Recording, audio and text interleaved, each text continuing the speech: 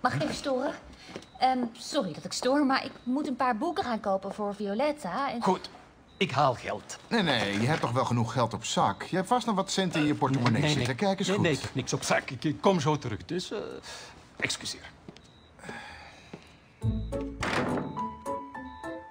Goed, dan eh, als je me nodig hebt, ik ben in de keuken. Eh, Angie, eh, wat wou je me vertellen in Violetta's kamer? Want het leek me nogal iets belangrijks te zijn.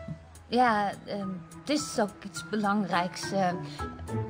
Nou, het lijkt me wel iets heel ergs, want je durft het me niet te vertellen. Dus eh, gaat het soms over iets waar je het al eerder over hebt gehad? Over Pablo en jou? nee. Gaat het over mij? Iets over ons? Nee, nee, nee, nee, nee. Het gaat over Pablo. Ah, eh, je zei net van niet. Eh, ja, maar het, het is een beetje heel, in- heel ingewikkeld.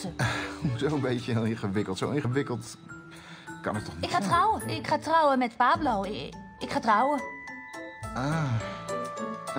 Eh, nou, maar het is toch geweldig nieuws. Gefeliciteerd. Bedankt. Sorry.